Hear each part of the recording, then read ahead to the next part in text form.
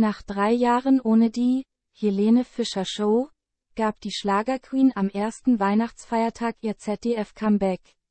Ein Duett mit Kollegin Beatrice Egli sorgte dabei nicht nur für positive Kommentare. Düsseldorf, an namhaften Stars fehlte es beim heiß ersehnten Comeback der Helene Fischer Show, gewiss nicht. Die prominent besetzte Gästeliste trumpfte mit großen Namen wie Rocklegende Peter Maffay, 74, oder der zweifachen Eurovision Song Contest Gewinnerin Loreen, 40, auf.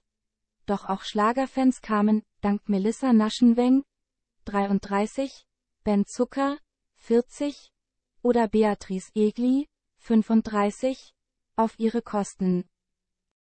Playback in Helene Fischer Show, Duett mit Beatrice Egli zieht Kritik auf sich.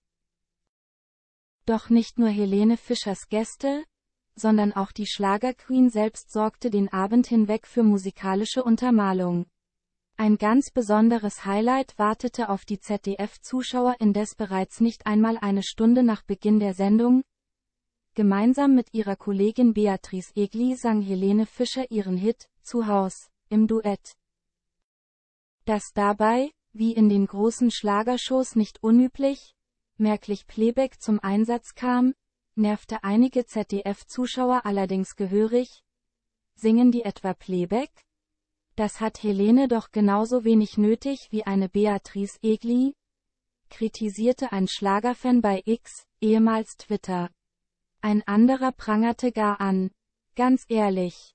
Wer ein echter Künstler sein möchte, darf einfach nicht Playback singen. Das geht gar nicht. In anderen Beiträgen hieß es indes spöttisch, beeindruckendes Playback, so Playback ab, oder, natürlich mal wieder Vollplayback.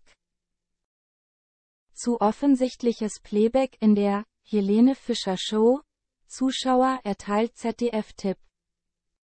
Ein besonders kritischer, Helene Fischer Show, Zuschauer teilte dann noch einen Tipp an die Mitarbeiter der Sendung, der dabei helfen solle, den Einsatz von Playback künftig zumindest ein wenig zu kaschieren.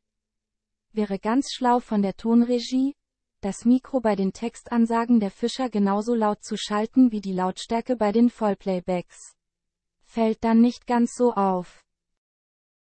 Andere kritisierten indes, dass Zuhaus? Kein Duett für den ersten Teil der Schlagershow, sondern vielmehr den Abschluss des Abends sei? Wieso kommt das jetzt schon? wunderte sich etwa eine verdutzte Zuschauerin? An großen Emotionen fehlte es im weiteren Verlauf allerdings nicht. So rührte ein kranker Kinderstar Helene Fischer beinahe zu Tränen.